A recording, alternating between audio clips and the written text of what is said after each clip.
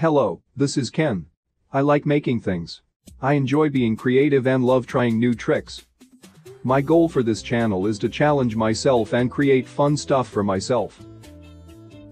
If you want to see me explore ideas and figure out ways to DIY a variety of stuff, click the subscribe button. Last week, I drew my dog staring out the window on my iPad. Check it out if you haven't already. Here's my WarGreymon figure from 1999. WarGreymon is a character from the TV show Digimon.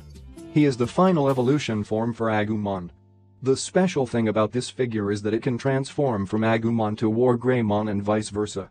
As you can see, you can see Agumon's face on its back. This was one of my all-time favorite figures from my childhood. However, recently there's an amplified version of this figure released. And I had to get my hands on it. Just look at that. This figure is so much better in every way. There's so much more angular shapes and lines, making him look more aggressive and sharp.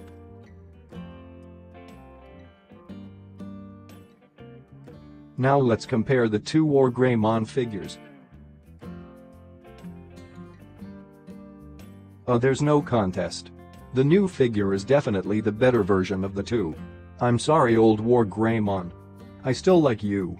You'll be securely stored in one of my many toy boxes. Now back to this newer WarGreymon figure. Another reason why I like this figure more is because there are more points of articulations on this figure. Which means I can do more cool poses with him. Random fun fact. I have worked as a photographer for the majority of my career. I usually photograph actual living creatures such as humans and bunnies. But with this figure, I want to try photographing toys instead. Using posing and lighting skills I learned from working at a photo studio. So first, let's start with a simple pose. One simple trick to posing is to make sure the pose itself isn't symmetrical. Angle the subject so it's not straight on. This will make the pose look more dynamic. Which is what I want for a figure like WarGreymon. Alright this looks pretty good. Now I just need to photograph him properly. So, can I make it? First, I got to adjust the lighting. I don't want the lighting to look too flat. The lighting and the pose should complement each other. I want a more dramatic kind of lighting. Alright. WarGreymon. Turn your head towards me a bit. Point your right hand at the camera. That's perfect. Sorry old habits. Here's the shot. Looks pretty good. Now let me do some quick edits. Uh, this looks great. He looks like a warrior ready for battle. Okay, next pose. I want to replicate the digivolution sequence from the show. WarGreymon is just standing looking off to the side. Let's change the lighting again. That looks good. Now let's redo the background. In the original show, he was standing on a lava-like terrain with giant texts behind him.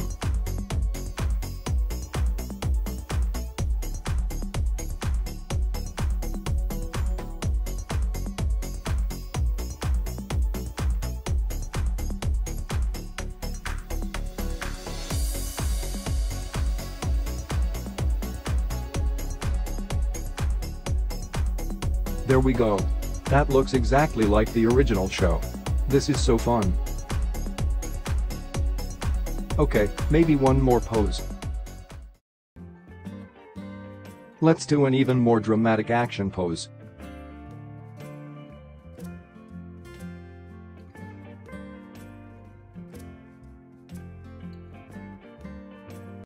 Oh no. No no no no no no no. Let's pretend that never happened. My photography mentor used to say.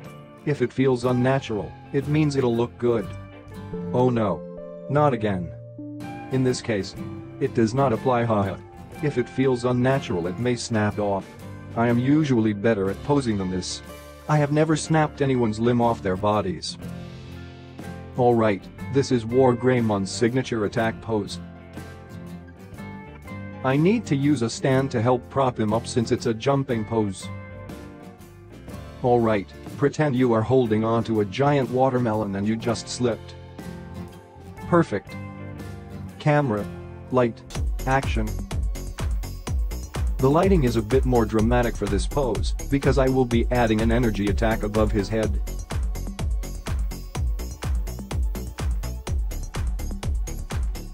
Perfect. Alright. I think I did a pretty good job today. I get to flex my photography muscles a bit. I get to do a photo shoot with my toys for the first time. Let's have a look at the original photos and the final edits. What do you think?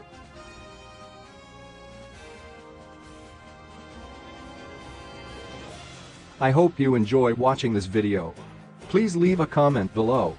If you like what I've done, please share this video and give this a like. Like and subscribe for more content like this. I can make it, so can you.